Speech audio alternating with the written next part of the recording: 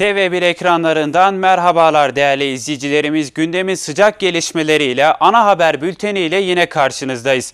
Dilerseniz bültenimize başlayalım. Bu hafta sonunda da uygulanan sokağa çıkma yasağında yine caddeler ve sokaklar sessizliğe büründü. Polis ekipleri birçok noktada denetim gerçekleştirdi. Denetim noktalarında da zaman zaman yoğunluk oluştu.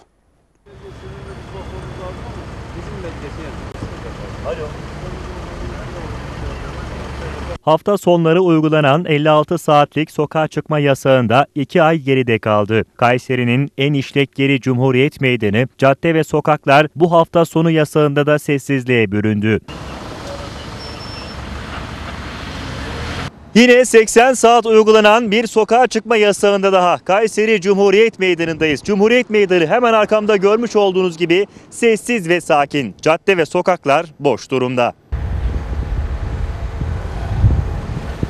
Polis ekipleri yine birçok uygulama noktasında denetim yaptı. Sokakta bulunan vatandaşların kimlik, izin ve araç belgeleri kontrol edildi. Vatandaşlara genellikle evrak eksikliğinden cezalar yazıldı.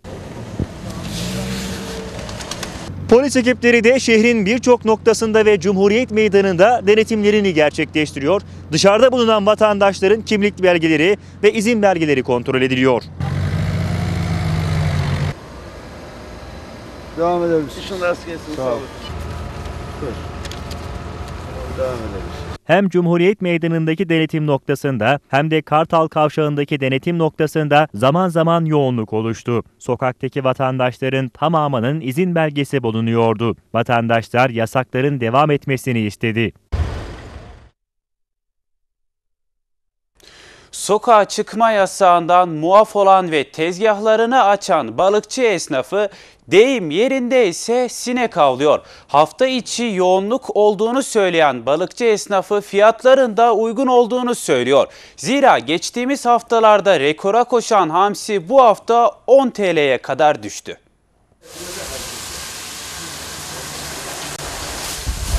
Sivas Caddesi üzerinde bulunan balıkçılar yasaktan muaftılar ve tezgahlarını bu hafta da açtılar. Ancak en yoğun caddedeki yasak sessizliği satışları yok denecek kadar azalttı.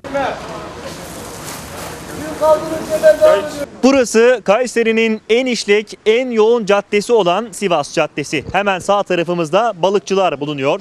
Yasakta onlar açık ancak satışlar yok denecek kadar az. Balıkçılar yine de hafta içindeki yoğunluktan ötürü memnun. Özellikle cuma günleri izdiham olduğunu söylüyor esnaf. Birbirinden çeşitli balıklar tezgahları süslüyor yine. Nasıl balık satışları? Balık satışları şu anda e, cumartesi pazar biliyorsunuz kısıtlama olduğu için fazla kimse olmuyor. Ama normal günler normal yani. Normal günlerde oluyor. Oluyor. Normal günlerde hareket var yani. Mesela dün cumaydı. İzlam vardı. İzdiham var. Vardı balıkta. Tabii ki hani bir de koronavirüse balık iyi geliyor diyorlar. Normal vatandaş geliyor işte birer kilo hamsi alıyor. Çubra, levrek, palamut, barbun. Çeşit deniz ürünlerini alıyorlar. Peki vatandaş cuma günden alıyor hafta sonu gelemiyor tabii. Ee, normal öyle oluyor. Genellikle öyle oluyor.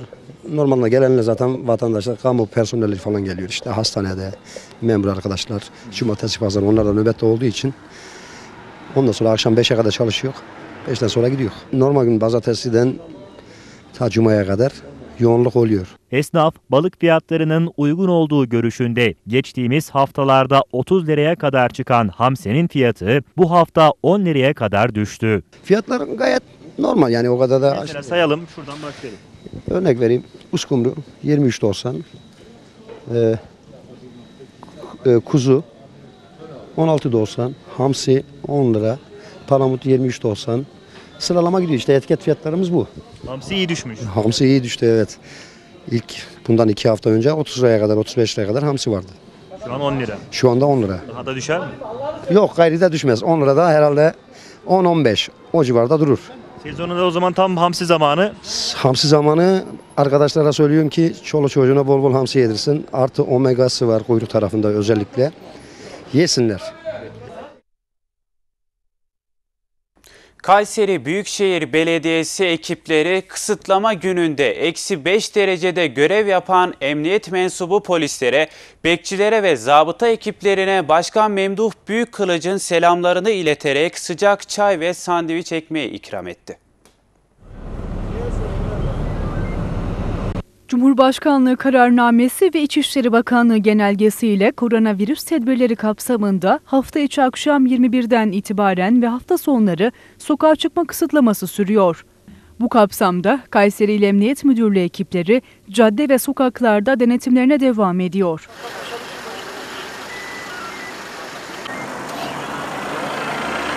Cuma akşamı Cumhuriyet Meydanı'nda eksi 5 dereceyi bulan soğuk havada görev yapan polis ekipleri ve bekçilerle zabıta ekiplerine Kayseri Büyükşehir Belediyesi ekipleri sürpriz yaparak Başkan Memduh Büyükkılıç'ın selamlarını iletip sıcak çay ve sandviç ekmeği ikram etti. Çok teşekkür ederiz. Çok Allah teşekkür razı ederiz. olsun. Başkanımıza Allah razı olsun. Sağ olun. Çok sağ olun. Çok Şeker kullanmıyorum. Çok sağ ol Çok kardeşim. sağ olun. Allah razı olsun. Teşekkür ederim. İyi akşamlar. Sağ ol abi. Sağ olun. Polis ekipleri, bekçiler ve zabıtalarda bu duyarlı ve anlamlı davranışından dolayı başta Başkan Büyükkılıç olmak üzere tüm belediye personeline teşekkür ettiler.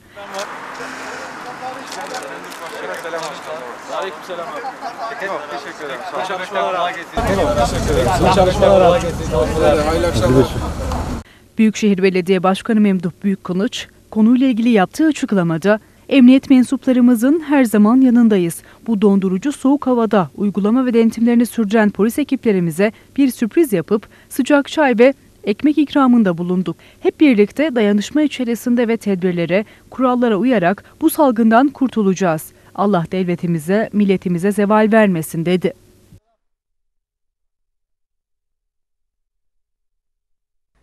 Pandemi döneminde temizlik alışkanlıkları değişti. Özellikle salgınla beraber temizlik yapma sıklığı ve buna bağlı olarak da temizlik malzemeleri kullanımı arttı.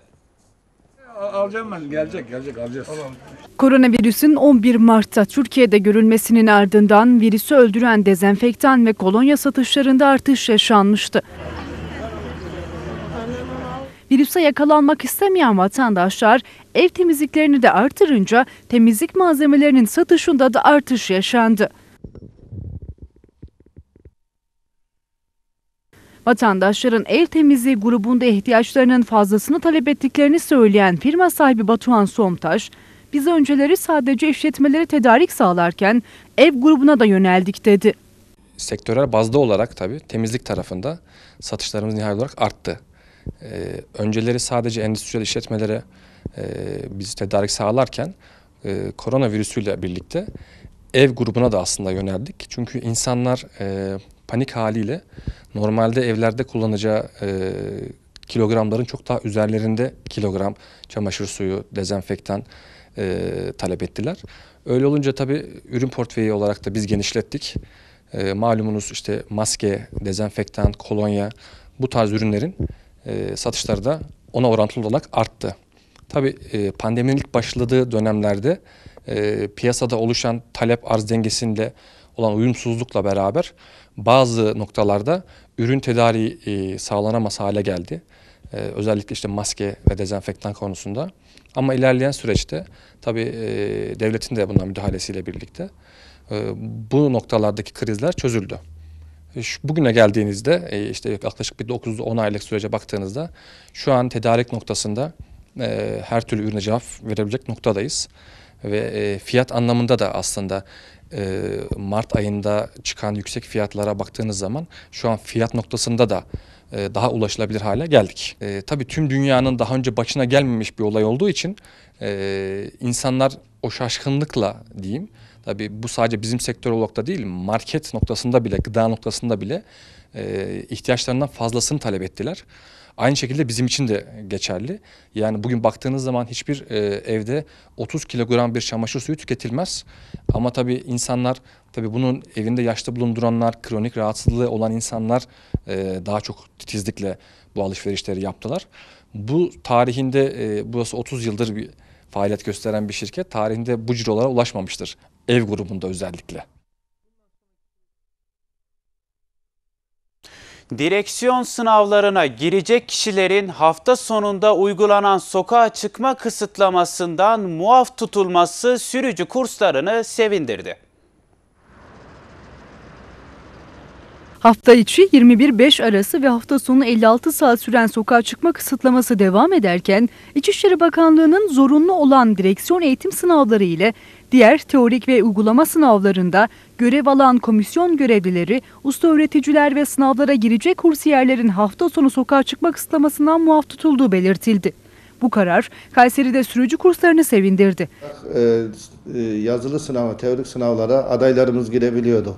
Uygulamalı direksiyon sınav eğitimlerimize de girebiliyorlardı. Eğitimlerimizi adaylarımıza veriyorduk. Ancak e, direksiyon sınavı yapamıyorduk. Onun da nedeni işte hafta sonları sokağa çıkma kısıtlamasından dolayı. Bakanlık nezdinde e, Sürücü Kursları Konfederasyonu olarak ve sendika olarak e, girişimde bulundu.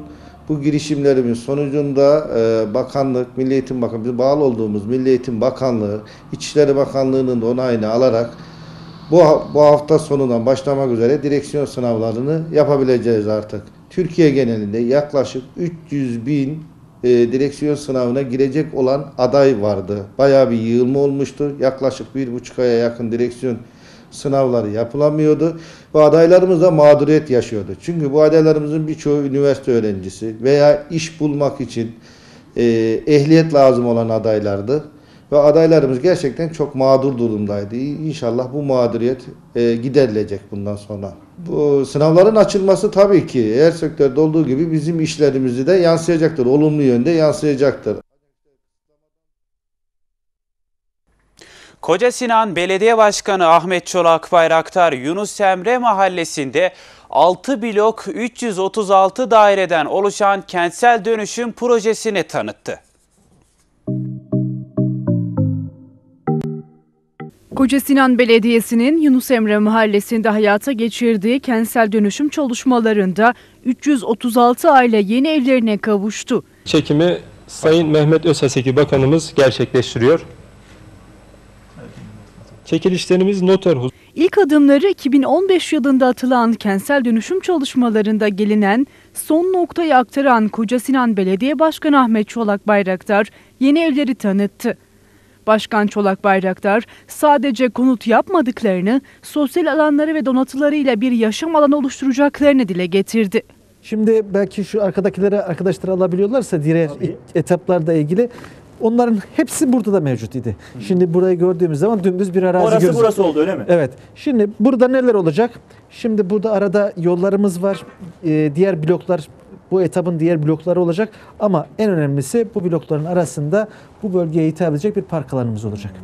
Çocukların oynayabilecekleri, gençlerin spor yapabilecekleri, yetişkinlerin çıktıkları zaman muhabbet edebilecekleri, konu komşusuyla oturabilecekleri projeyi boydan boya devam ettiren bir park alanımız olacak. Otoparklarıyla, yeşil alanıyla, sosyal donatısıyla ki hemen arka tarafında da bir sosyal alan burada e, inşallah o da çözümü yakın bir zamanda tamamlanacak. Bir sosyal alanı da buraya kazandırmış olacağız. Yani Yavuzlar Yunus Emre bölgesinde bir spor spor tesisinin de içinde olacağı bir sosyal tesisi inşallah bu bölgede kazandırmış olacağız. Kentsel dönüşüm neticesinde hem yeni konutlar elde ettik. Vatandaşlarımız bu şekilde çağdaş konumlar, konutlarında yaşayacaklar. Park alanı, yaşam alanları elde ettik. Evet. Hem de bir sosyal tesisi buraya kazandırmış olacağız. yaptık bıraktık değil öyle Yok böyle bir- zaten şimdi binaların yapılıp yapılıp bırakılması o bölgeye bir şey kazandırmaz. Evet. Sadece yeni bir binalar olur. Bu da güzel, bu da anlamlı, bu da değerli. Ama önemli olan insanların ihtiyaçlarını, şehir yaşantısı içerisindeki ihtiyaçlarını karşılayabilmek. İl Milli Eğitim Müdürü Bilal Yılmaz Çandıroğlu okulların yarı yıl tatiline girmesiyle değerlendirmelerde bulundu. Çandıroğlu buruk bir sezon oldu ama bugünlerde geçecek dedi. Çandıroğlu yeniden İl Milli Eğitim Müdürlüğü görevinde de gayretle çalışacaklarını söyledi. 2020-2021 eğitim öğretim yılı 22 Ocak itibariyle ara tatile girdi. Bu yıl derslerin online yapılmasıyla beraber karneler de online şekilde verildi. Kayseri İl Milli Eğitim Müdürü Bilal Yılmaz Çandıroğlu, TV1 ana haber bültenine katılarak Yalçın Yoldaş'a sezonu değerlendirdi. Çandıroğlu, buruk bir sevinç olsa da bugünler elbet geçecek dedi. Biraz buruk bir e, sevinç bizim için. Yarı yıl tatilini ilk defa bu şekilde uzaktan yaşamış oluyoruz. Daha önceki süreçlerde işte giderdik çocuklarımıza karnelerini büyüklerimizle Evet, evet, falan birlikte. O bizim için farklı bir motivasyon, farklı bir neşe kaynağıydı ama yani e, takdiri dahi kaderde bu da varmış diyelim. Ama neticede e, iyi bir süreç yaşandı. Uzaktan eğitim e, süre, şekliyle de olsa yapılabileceğin en iyisini öğretmen arkadaşlarımız yapmaya gayret ettiler. E, yani sorunsuz, sıkıntısız bu manada bir eğitim öğretim yılı geçirdik. E, tabii burada başta öğretmen arkadaşlarımıza çok teşekkür etmek lazım. Yani normal olması gereken süreçten, normal eğitim öğretim süreçlerinden daha üstün bir gayret ve performansla bu süreçleri e, sağladılar sağ olsunlar. E, tabii velilerimiz aynı zamanda bizim çok ciddi paydaşlarımızdı. Onlar her zamankinden daha çok eğitim öğretim süreciyle iç içe oldular bu uzaktan eğitim sürecinde. Olmak durumunda kaldılar. Tabii. Onların da öğretmen arkadaşlarımız, biz eğitimciler çok ciddi desteklerini gördük. Ha, biraz da aslında eğitimin nasıl bir süreç olduğunu, öğretmenin neyle yüz yüze olduğunu, nasıl tabii, olduğunu, eğitimle öğretmenin ne yaşadığını biraz canlı canlı görmüş oldular. E, bu yönde de bizim için farklı bir süreçti. Daha önce 4 yıl daha İl Milli Eğitim Müdürlüğü yapan ve bir süre sonra yeniden müdürlüğe atanan Bilal Çandıroğlu, yeni süreçte de gayretle eğitim anlamında çalışacaklarını ifade etti. Bizim görevlerimiz malum takdir görevleridir. Tabii. Ee, yani büyüklerimizin takdiri bu şekilde gerçekleşti. Bakanlığımız bu şekilde değerlendirdi. Ee, tekrardan e, burada göreve başlamış olduk. Yani geçmiş dönemde iyi işler yaptığımızı düşünüyoruz. Ekip arkadaşlarımıza, bütün eğitim camiasıyla birlikte. İşte üniversite sınavlarında ikinci sıradaydık. İşte LGS liseye giriş sınavlarında dördüncü sıraya kadar geldik. İşte çok ciddi devlet yatırımları noktasında e, çalışmalarımız vardı. Yani e, iyi sayılardı yani bunlar e, o şekilde ifade edebilirim. İnşallah Cenab-ı Rabbül Alemin memleketimize yeniden e, hizmet etme imkanı verdi. Biz bu verilen süreci memleketimize hizmet noktasında en iyi bir şekilde ekip arkadaşlarımızla birlikte değerlendiririz diye düşünüyorum. Bu, bu konudaki e, düşüncemizde olması noktasında da bir sıkıntı görmüyorum inşallah. Efendim başarılar temenni ediyoruz. Eğitim tabii Eyvallah. çok çok önemli. Kayseri'de bulunan Erciyes Kayak Merkezi sömestr tatilinin ilk gününde yoğunluk yaşadı. Otellerde kalan ve turlarla gelen yerli ve yabancı turistler pistlerde kayak yapmanın keyfini çıkardı. Türkiye'nin önemli turizm merkezlerinden biri olan Erciyes Kayak Merkezi, sömestr tatilinin ilk gününde kayak severlere ev sahipliği yaptı. Erciyes'teki yerli ve yabancı turistler otelleri ve pistleri doldurdu. Pistler otellerde kalan ve tur şirketleriyle gelen turistlerle dolarken tatile giren çocuklar da kırın keyfini çıkardı. Anne babamı ziyaret için Kayseri'ye geldim.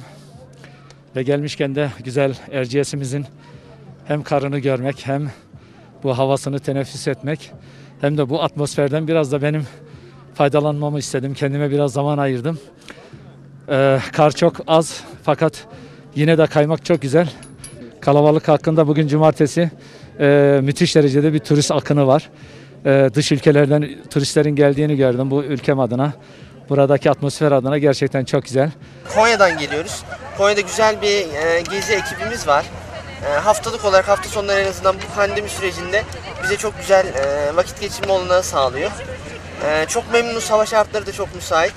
E, umarım herkes güzel, eğlenceli bir kayak yılı geçirir. Beş tatilde aslında e, mutluyum yani çok eğlenceli bir spor. İsterseniz siz de e, yapabilirsiniz. Soğuk kış günlerinde araç sürücülerinin dikkat etmesi gereken önemli hususlar bulunuyor. Sürücüler aracı çalıştırmadan önce ne yapmalı? Özellikle hangi kontroller öncelikli? Münir Borazan anlattı.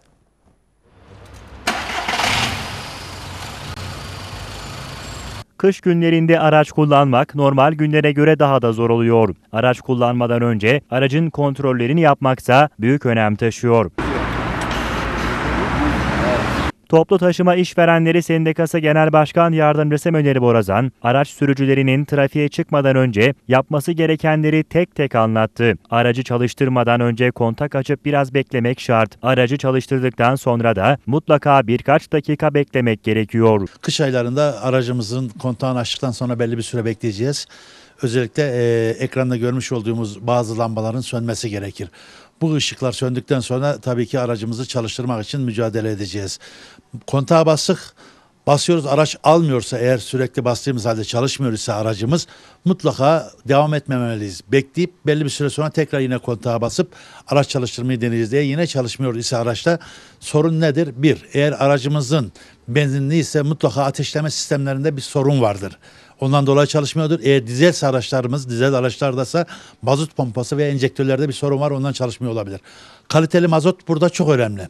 Kaliteli mazot kullandığımız zaman dizel araçlarda özellikle e, çalıştırma esnasında enjektörlerde su dediğimiz birinkiti buz olmaz. Enjektörler yani buz tutmaz. Araç daha rahat çalışır. Kaliteli mazot kullandığımız zaman. E, Aracımızı çalıştırdıktan sonra belli bir süre beklemeliyiz. Yani e, aracı hemen çalıştırdık e, devam etmiyorum. Çünkü niye? araç bir sıcaklık havasını alsın, kendini bir toparlasın. Bir kendine gelsin motor. Ondan sonra tabii ki e, hareket edebiliriz. Ama bindik, çalıştırdık hemen gittiğimiz zaman bu da yine e, hem motorun ömrünü azaltır, motorun ömrü sağlıklı olmaz hem de e, dediğim gibi keselerine zarar verir yani. Araca binmeden önce de dikkat edilmesi gereken durumlar bulunuyor. Özellikle buzlu camlar hareket etmeden temizlenmeli. Araca binmeden önce aracımızın diğer e, dikkat edeceğimiz hususlar vardır. Cam temizliği çok önemli. Görüş açısı, aynalar, arka cam temizliği, yan camlar. Bunlar bazı sürücüler görüyorum çok ufacık bir şekilde açıyorlar bu şekilde yola devam ediyor. Sağından ve solundan gelen araçları göremez. Sağda ve solda yanaştığımız zaman bankete veya orta göbeğe yanaştığımızı fark edemeyiz. Bu hususlarına cam temizliğine de çok iyi dikkat etmeliyiz. Araçların kaloriferleri de bir müddet beklenip araç motoru ısındıktan sonra açılmalı. Şimdi bazı sürücülerimiz kış aylarında hemen kaloriferi açıyorlar. Kaloriferi belli bir süre gittikten sonra kaloriferimizi açacağız ki e, kaloriferin içerisindeki o oksijen e, hem kendini toparlayacak hem de dışarıya e, kötü hava vermeyecek. Kış aylarında bu şekilde kalorifer ama yazın da yazın da yine e, klimalarımızı camları açmadan aracımızı çalıştırıyoruz. Dört camı açacağız. Belli bir süre bekleyeceğiz. Ondan sonra klimayı e, çalıştıracağız yaz aylarında da. Kar yağışı ve havaların soğumasıyla birlikte mont, kaban ve bot satışları arttı. Esnaflar vatandaşın özellikle alışveriş yapmak için havaların iyice soğumasını beklediğini söyledi. Kar yağışı tüm Türkiye'yi etkisi altına aldı. Kayseri'de kar yağışı ile birlikte hava sıcaklığı eksi derecelere düştü. Hal böyle olunca soğuktan korunmak isteyen vatandaşlar kışlık alışverişini şimdi yaptı. Esnaflar kar yağışıyla satışların hareketlendiğini söyledi. Vallahi şu an sezon zaten kar düşmesiyle birlikte biraz daha piyasa canlandı. Şu an iyi diyelim. İyi olsun Allah utandırmasın. Satışlar arttı mı? Arttı evet. Hangi ürünlerde mesela? Ya genellikle kaban işte dediğim gibi kazaklardan falan onlar daha çok satmaya başladı. Ya biraz daha piyasa canlandı şükürler olsun. Vatandaşlar özellikle karın yağmasını mı bekliyor sizce?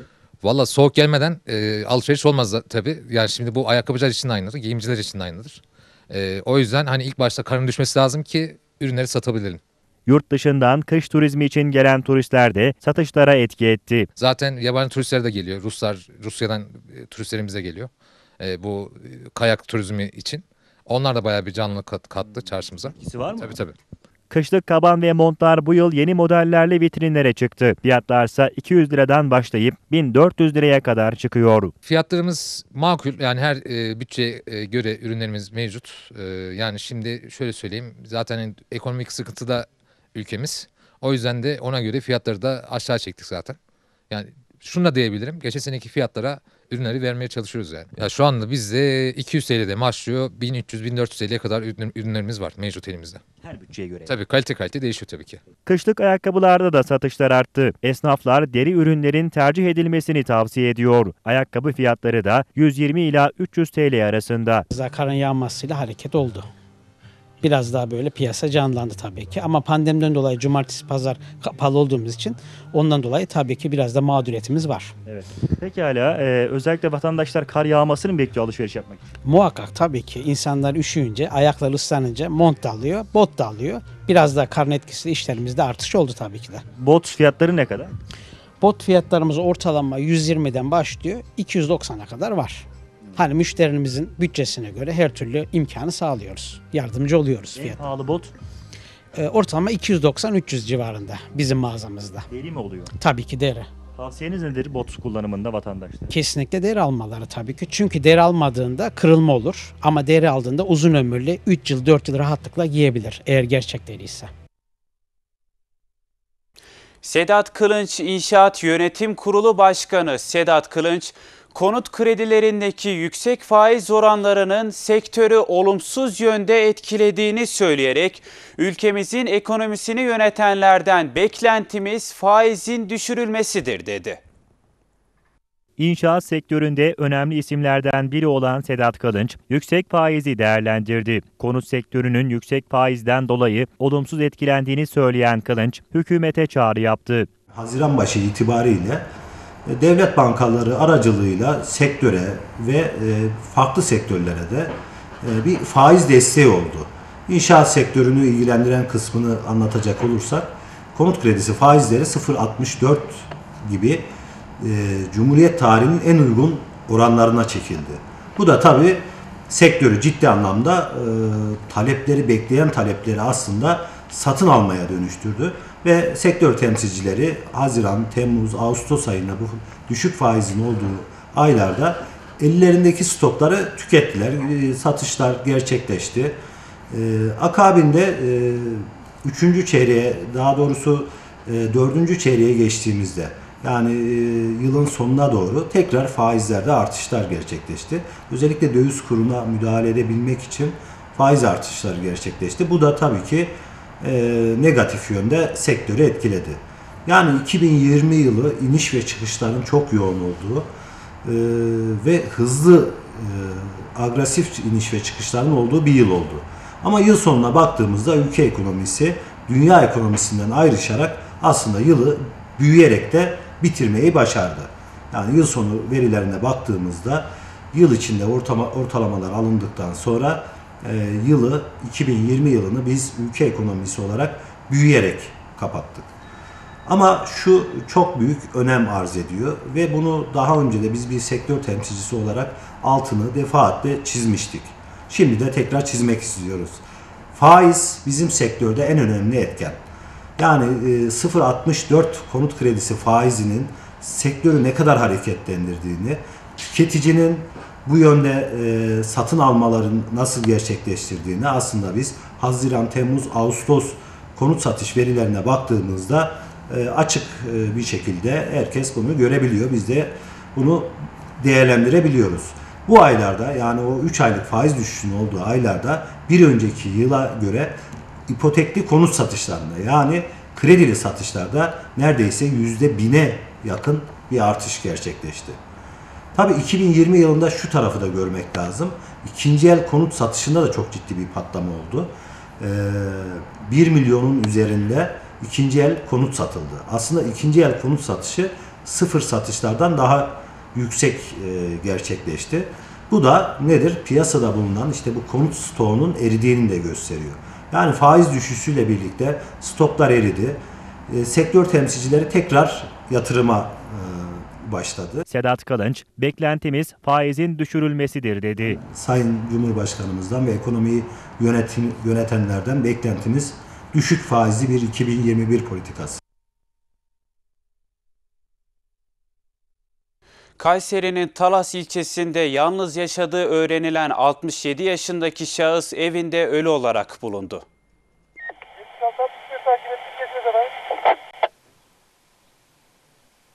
İlçeye bağlı Bahçelievler Mahallesi Hacı Cebil Caddesi üzerinde bulunan bir apartmanda meydana gelen olayda yalnız yaşayan İR'den haber alamayan yakınları durumu ekiplere haber verdi.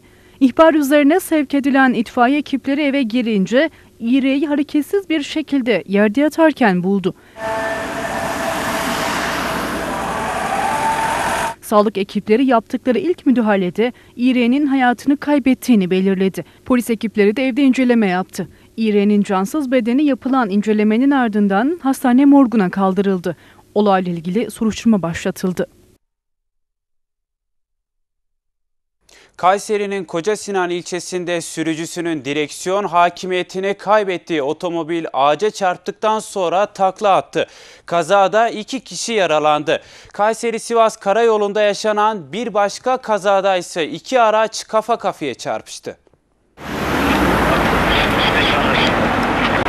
Mithatpaşa Mahallesi Bekir Yıldız Bulvarı üzerinde meydana gelen trafik kazasında OKÇ'nin yönetimindeki 38 AEB 917 plakalı otomobil sürücüsünün direksiyon hakimiyetini kaybetmesi sonucu ağaca çarparak takla attı.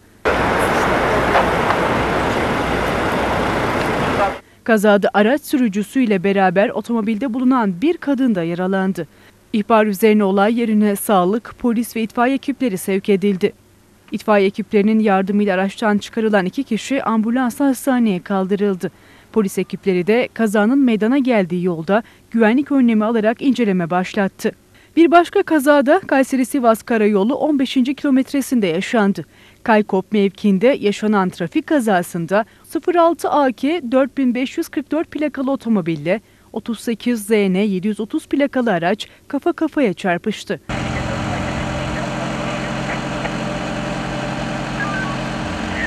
Kaza sonrasında otomobiller kullanılamaz hale gelirken sürücüler yaralandı. Yaralılar sevk edilen ambulanslarla hastaneye kaldırılarak tedavi altına alındı. Polis ekipleri de kazanın yaşandığı yolda güvenlik önlemi alarak inceleme yaptı. Kazaya karışan otomobiller yapılan incelemenin ardından çekiciyle kaldırıldı. Kazayla ilgili olarak soruşturma başlatıldı. Süper Lig'in 21. haftasında deplasmanda Fenerbahçe ile karşılaşacak olan HES Kablo Kayserispor kulüp tesislerinde maçın hazırlıklarını sürdürüyor. Kayserispor Teknik Direktörü Petrescu Fenerbahçe maçı öncesi yaptığı açıklamada Fenerbahçe büyük bir takım dedi. HES Kablo Kayserispor Süper Lig'in 21. haftasında deplasmanda Fenerbahçe ile karşılaşacak Sarı Kırmızılı ekip bu maçın hazırlıklarını sürdürüyor. Teknik direktör Petrescu yönetimindeki oyuncular düz koşunun ardından kondisyon çalıştı. 2-0'lık Başakşehir galibiyetini değerlendiren Kayserisporlu futbolcu Uğur Demirok, "İlk maçımı oynadım, çok güzel ve anlamlı galibiyetti hem kendim hem takımım için dedi. Dediğim gibi benim için yeni bir macera. Anadolu'nun güçlü kulüplerinden Kayseri Spor'la. Bulunduğumuz yeri hak etmiyoruz. İlk maçımı oynadım. E, maça sonradan girdim. Çok güzel ve anlamlı bir galibiyetti. E, hem takım adıma hem benim için. E, önümüzde bir Fenerbahçe maçı var. E, şu anda ligde e, kim ne konumda hiç önemli değil. E, maç sahada kazanılıyor. E, zor bir deplasman olacağını biliyoruz ama dediğim gibi Kayseri Spor şu anda bu konumu hak etmiyor. E, takımımızı en üst sıralara çıkarmak için sahada her zaman mücadelemizi vereceğiz. HES Kablo Kayserispor Teknik Direktörü Dan Petrescu da Fenerbahçe maçına ilişkin değerlendirmelerde bulundu. Petrescu maçın zor geçeceğini söyledi. Türkiye'nin son şampiyonuna karşı gerçekten çok önemli ve kritik bir galibiyet aldık. Daha da önemlisi tüm takım, tüm oyuncular kalpleriyle ve e, ruhlarını sahaya koyarak e, iyi bir mücadele gösterdiler. Unfortunately, this uh, victory cost us because we lost uh, Ali Bek for maybe four weeks now. Yani bu galibiyet bize maalesef, e, bu galibiyette Ali Bek'i kurban ettik diyebiliriz bir anlamda. Ali Bek'e mal oldu bize. E, bilmiyorum ne kadar sürer fakat e, Ali Bek bizimle birkaç hafta olmayacak. I want to coach him in Romania. I didn't have the chance. And my first game when I coach him, he scored two goals, he get injured. Yani Romanya'da hiçbir zaman onun hocası olmamıştım. Çok bilinen önemli bir futbolcu kendisi Romanya'da. İlk maçımda çok da iyi bir galibiyet aldı. İki gol de attı ama e, sakatlandı maalesef. This was the negative of the game because he get injured. Rest was only positive. Tek negatif yani tek olumsuz yönü Ali Bek'in sakatlanmasıydı. Diğer her şey ama her şey çok olumluydu maçla ilgili. Fenerbahçe maçı var şimdi önümüzde. We will play against Fenerbahçe. It's a difficult game. Of course, uh, they're the favorites to win for sure. They won the last games in the league. They want to win the league, the champions. But in every game we will have a chance, I think, if we play with the spirit of an organization. Fenerbahçe büyük bir takım. Her zaman şampiyonluk iddiası olan, şampiyonluk için yola çıkan bir takım. Son haftalarda da çok iyi mücadele ediyorlar. Bilincindeyiz bunun zor bir maç olacak ama biz her maça aynı ruhla, aynı savaşla çıkıp her maçtan puan almak zorunda olduğumuzu biliyoruz. Evet bu haberle bültenimizin sonuna geldik. Ben yayında ve yapımda emeği geçen arkadaşlarıma buradan ayrıca teşekkür ediyorum. Hepinize mutlu, huzurlu ve en önemlisi sağlıklı günler diliyorum.